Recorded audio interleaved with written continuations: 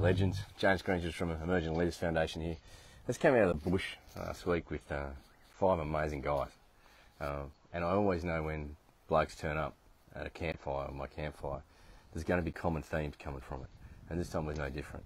It's like, you know, you get people coming from all around the place, doing different things supposedly in their daily life, and yet these common underlying tones happen. And the three major things were control, trust, and commitment. And each one of them had their own issues with these things. Now, whenever control turns up, you're going to find trust is there as well because the more you want to control and need to control, the less you trust. The more you trust, the less you need to control. So it's this dance between the two. Now, the underlying pinning, the, the underpinning thing, a factor is emotional literacy because you'll control when you actually need to fear. Fear is linked to control. Um, yeah, sure, trust trust is is more linked to certainty or love, but at the same time, you can transcend both to this place of knowing. And anyone who's been in a situation before where they'll do something or they'll be in a situation and they'll just say, "Don't ask me why I did it. I just knew I had to do it." That's that's the place where you transcend both the, the issues of trust and control.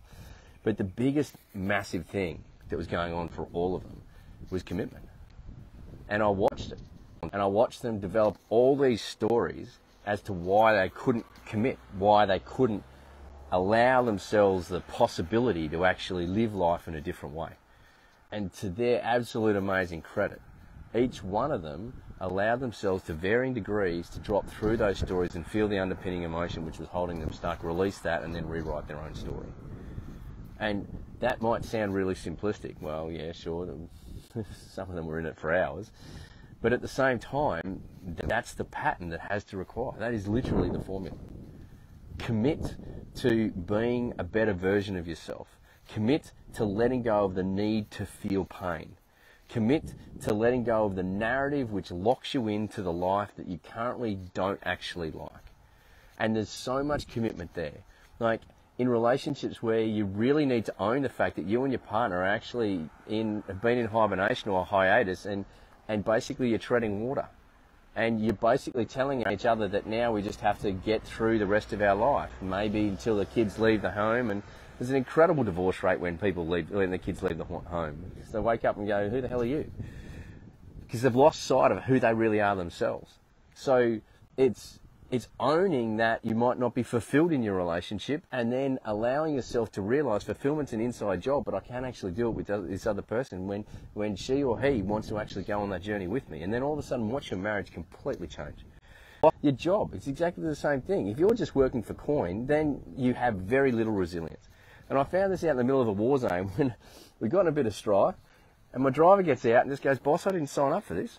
Now, I scratched my head being a. Uh, Army commander, and I'm going, I'm sure somewhere in the bloody writing of your uh, enlistment papers it said, you're joining the army, man.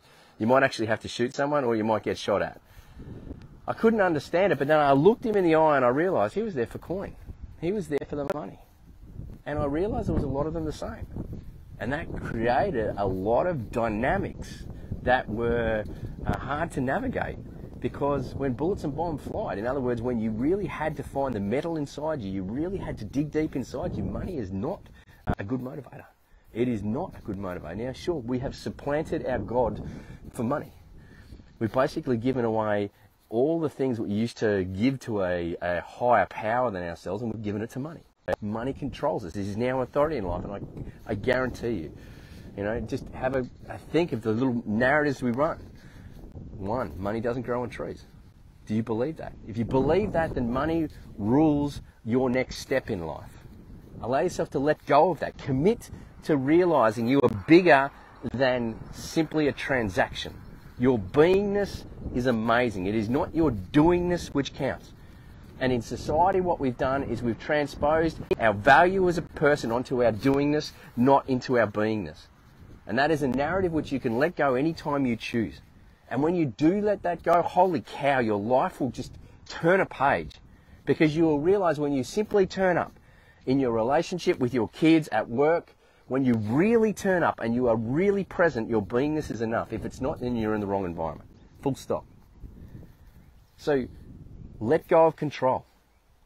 Understand where trust lies for you and where it doesn't lie for you.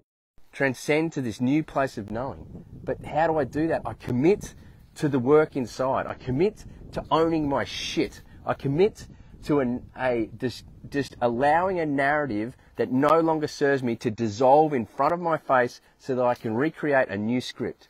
Something amazing for myself. And if it's something amazing for myself, then watch every other person who I truly love benefit from that expression. I'm a first hand example of that. Trust you got something from it. By the way, gents, you ready for a bush experience around my campfire? It's a bit of an enjoyable experience. Just ask anyone who's been there. Four days in November. Get in touch with me, personal message me. Love you long time. Bye.